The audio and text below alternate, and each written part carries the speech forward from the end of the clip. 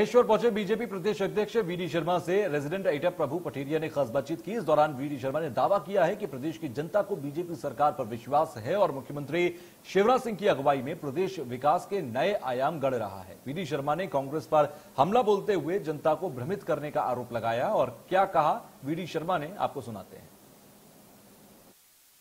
हम महेश्वर में हैं और हमारे साथ हैं भारतीय जनता पार्टी के प्रदेश अध्यक्ष वीडी शर्मा, जो चुनावी यात्रा पर निकले हुए हैं। तो वीडी शर्मा समझने की कोशिश करते हैं कि आखिर मध्य प्रदेश के इन उपचुनाव को लेकर क्या नब्ज कह रही है जनता की। शर्मा जी बहुत बहुत स्वागत है आपका इंडिया न्यूज़ में। पहला सवाल तो यही है मेरा कि आप दौरे पे निकले क्या पल्स है यहाँ की? क्या कह रही है जनता? देखिए, पहली बात तो ये मेरा कोई मात्र चुनावी दौरा नहीं है। भारतीय जनता पार्टी में प्रवास एक हमारा पद्धति का बड़ा हिस्सा है और यही एक आधार बनता है संगठन काम के विस्तार और सुदृढ़ीकरण का। तो हम लगातार तो करते ही रहते हैं, लेकिन हाँ ये बिल्कुल ठीक है कि वाई इलेक्शन इस क्षेत्र में है, जिस क्षेत्र में मैं अभी दौरा कर रहा हूँ। तो चुनाव की तैयारी भी हम व्यापक तौर पर संगठन तंत्र को मज़बूत करते हुए, क्योंकि हम लोग कहते हैं और हम ये करते ही हैं कि हमारा जो संगठन का कोई भी अभियान है, चाहे चुनाव हो या कोई भी हो हम चुनाव अपने संगठन तंत्र के बल के आधार पर लड़ते हैं और जीतते हैं। तो एक उसको ताकत देना, उसमें आज और उसको अपडेट कैसे करना है वो प्रयास करना। और जहाँ तक आपने पल्स की बात कही तो मैं ऐसा मानता हूँ कि इस देश के अंदर माननीय प्रधानमंत्री नरेंद्र मोदी जी के नेतृत्व में हर समाज वर्ग उन गरीब कल्याण की योजनाओं के साथ मध्य प्रदेश के अंदर माननीय मुख्यमंत्री शिवराज सिंह चौहान के नेतृत्व में जनता हमारी इस बात को लेकर के जानती है कि अगर मध्य प्रदेश का और देश का भविष्य सुरक्षित है तो माननीय नरेंद्र मोदी और शिवराज सिंह चौहान के नेतृत्व में है। इसलिए ये हर प्रकार से जनता, आज भारतीय जनता पार्टी के साथ खड़ी है और जनता इस बात को एहसास करती है। शर्मा जी कोरोना आया था, दो लहरें कोरोना की आई बड़ा नुकसान हुआ है प्रदेश को। इस कोरोना में रोज़गार खत्म हुए, बहुत सारे लोगों की जान चली गई। उसको लेकर कहीं ना कहीं सरकार की जो कोरोना मैनेजमेंट है या राजनीतिक दल, भारतीय जनता पार्टी जैसा बड़ा दल है, उसका प्रबंधन है कोरोना को लेकर। कहीं ना कहीं कुछ लोगों के मन में शंका सवाल है, वो उठते हैं। नहीं, देखिए, मेरा ऐसा मानना है कि कोरोना के संबंध में इस देश के अंदर ये दुनिया जानती है कि माननीय प्रधानमंत्री मोदी जी के नेतृत्व में जिस प्रकार से काम हुआ, और मध्य प्रदेश के अंदर माननीय मुख्यमंत्री ने तो शपथ ही कोरोना के उसमें ली, और जिस प्रकार से माननीय मुख्यमंत्री ने काम किया दिन रात एक करके और कोई गरीब भूखा इस देश के अंदर नहीं रहेगा, इस प्रदेश के अंदर नहीं रहेगा तो बेहतर काम अगर किसी ने किया तो भारतीय जनता पार्टी की सरकार ने किया, चाहे केंद्र के अंदर हो या राज्य के अंदर हो।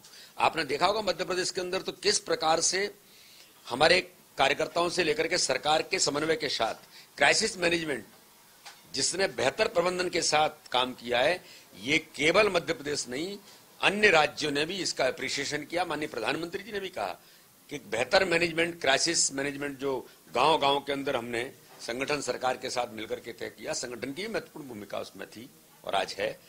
आज हम स्वास्थ्य स्वयंसेवक हर बूथ पर खड़े कर रहे हैं। एक डॉक्टर, एक महिला कार्यकर्ता, एक कार्यकर्ता हमारे इस प्रकार की हमारी टीमें बन करके प्रशिक्षण चल रहे हैं। तो मेरा ऐसा मानना है कि इस दिशा में केवल कोई कांग्रेस के कहने से नहीं होता। उनको भी लोग जानते हैं और भारतीय जनता पार्टी के नेतृत्व, भारतीय जनता पार्टी की सरकार और भारतीय जनता पार्टी के संगठन को लोग जानते हैं। माननीय राष्ट्रीय अध्यक्ष जी ने कहा था कि राजनीति के साथ सामाजिक भूमिका का निर्वहन करें। हमने बेहतर से बेहतर भारतीय जनता पार्टी के कार्यकर्ताओं ने और सरकार ने काम करने का प्रयास किया है। रोज़गार एक बड़ा मुद्दा है। रोज़गार का कहीं ना कहीं यहाँ पर नुकसान हुआ है। लोगों का सरकारी नौकरियाँ नहीं निकल रही हैं। ऐसी समस्याएँ जो युवाओं के सामने खड़ी हैं, उनको कैसे एड्रेस करें? उन मुद्दों पर भी काम भारतीय जनता पार्टी की सरकार बेहतर तरीके से कर रही है, चाहे माननीय प्रधानमंत्री जी के द्वारा स्किल और इन सारी चीज़ों को लेकर के आत्मनिर्भर भारत का जो नारा दिया है, उसको ज़मीन पर उतारना छोटे छोटे काम करने वाले लोगों को मदद करना, ये एक बड़ा अभियान आत्मनिर्भर भारत और मध्य प्रदेश का जो, एक आत्मनिर्भर मध्य प्रदेश का जो हमारा एक माननीय मुख्यमंत्री जी ने इसका मॉडल बना करके जो प्रयास शुरू किए हैं यही लोगों को इन सारी चीज़ों से बचा करके रोज़गार के साधनों भी उपलब्ध कराएँगे। और बाकी जो ज़रूरत है, उनको भी माननीय प्रधानमंत्री जी, मुझे लगता है कि बहुत गंभीरता के साथ इन सारे मुद्दों पर देश के अंदर काम कर रहे हैं। एक सवाल बार बार उठता है, विपक्ष की तरफ़ से भी बातें उठती हैं कि मुख्यमंत्री बदलेगा मुख्यमंत्री बदलेगा तो क्या यदि इतने अच्छे काम हो रहे हैं तो क्या प्रदेश अध्यक्ष के नाते बीडी शर्मा जी ये कह सकते हैं कि 2023 का चुनाव शिवराज सिंह चौहान के नेतृत्व में लड़ा क्या है लोग भ्रम फैलाते हैं? लोगों के पास कोई काम बचा नहीं है। दिग्विजय सिंह के पास क्या काम है, मुझे बताइए। कोई काम नहीं है। उनकी मानसिकता ही इसी प्रकार की है। कमलनाथ जी जैसे मछली पानी से निकल जाती, तड़प रहे हैं बिना सत्ता के। गलती से आ गए थे। मैंने कहा ना पब्लिक लीडर नहीं थे, लेकिन गलती से बैठा दिया था कांग्रेस ने। किन्हीं कारण से बैठाया होगा, जो भी होंगे, मुझे नहीं पता। ये उनका अंदर का हमला है। लेकिन अब वो फड़फड़ा रहे हैं तो क्या करेंगे? मध्य प्रदेश के अंदर माननीय शिवराज सिंह चौहान के नेतृत्व में मध्य प्रदेश जिस गति से आगे बढ़ रहा है, हर गरीब कल्याण की योजनाओं पर काम जिस प्रकार से हो रहा है, एक नहीं, कई पैरामीटर्स में मध्य प्रदेश देश का एक नंबर राज्य बनकर के खड़ा है। तो माननीय शिवराज सिंह चौहान के नेतृत्व में मध्य प्रदेश सुरक्षित है और मध्य प्रदेश आगे बढ़ रहा है। मेरा सवाल यह है कि 2023 का चुनाव क्या शिवराज सिंह के नेतृत्व में लड़ा ये ये सारी चीज़ें आज मध्य प्रदेश के मुख्यमंत्री शिवराज सिंह चौहान हैं। आज हम हमारे नेता हैं उन्हीं के नेतृत्व में काम कर रहे हैं। अंतिम सवाल शर्मा जी।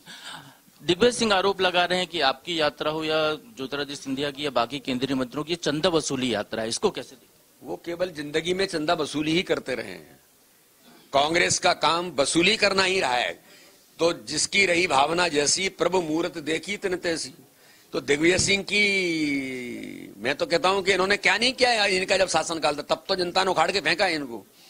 इसलिए यही आरोप लगाने का प्रयास करते हैं। जो लोग राम मंदिर पर प्रश्न खड़ा कर सकते हैं, जो लोग राम मंदिर पर, समाज ने सहयोग के आधार पर आज 500 सालों के इतिहास के अंदर, ऐतिहासिक काम इस देश के अंदर हो रहा है, उस पर क्वेश्चन खड़ा करते हैं। वो तो सेना के सर्जिकल स्ट्राइक होती है तो दिग्विजय सिंह तो ये पूछ लेते हैं कि प्रूफ क्या है कि सर्जिकल स्ट्राइक हुई।